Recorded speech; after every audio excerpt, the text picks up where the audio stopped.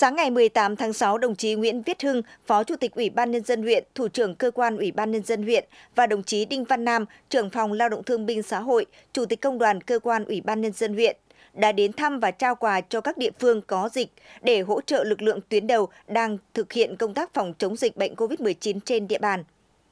Đoàn đã đến xã Xuân Viên và xã Cương Gián là hai địa phương có ca nhiễm COVID-19. Sau khi thăm hỏi tình hình và công tác phòng chống dịch tại đây, đoàn đã trao 32 thùng sữa và nước khoáng cho hai địa phương.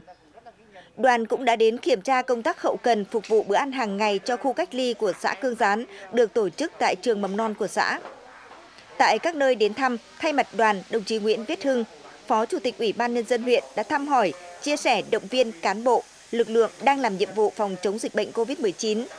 Đồng chí mong muốn các lực lượng làm nhiệm vụ phát huy hết tinh thần trách nhiệm của mình trong thực hiện nhiệm vụ phòng chống dịch bệnh để đảm bảo an toàn về sức khỏe, tính mạng của con người và góp phần đẩy lùi dịch bệnh, ổn định chính trị, an toàn xã hội.